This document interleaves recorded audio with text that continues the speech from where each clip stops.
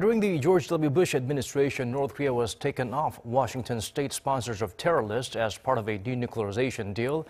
The nuclear and missile upgrade obsessed regime is included back in it now, meaning the doors flung open wider for more sanctions to be slapped on the rogue state.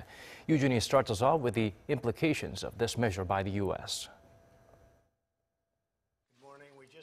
During a cabinet meeting on Monday, President Donald Trump announced the U.S. will designate North Korea as a state sponsor of terrorism.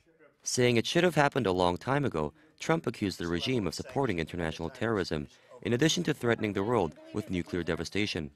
This designation will impose further sanctions and penalties on North Korea and related persons and supports our maximum pressure campaign to isolate the murderous regime. He cited the murder of Kim Jong un's half brother in Malaysia earlier this year by a pair of individuals suspected of acting under orders from North Korea. Trump also referred to the death of American student Otto Warmbier, who was detained by Pyongyang for over a year and a half, as well as other victims of North Korean oppression and brutality. He said the Treasury Department will announce the additional sanctions soon, which he promised will be of the highest level. The U.S. president ended his remarks by urging North Korea to be lawful and bring an end to its illegal nuclear and ballistic missile developments.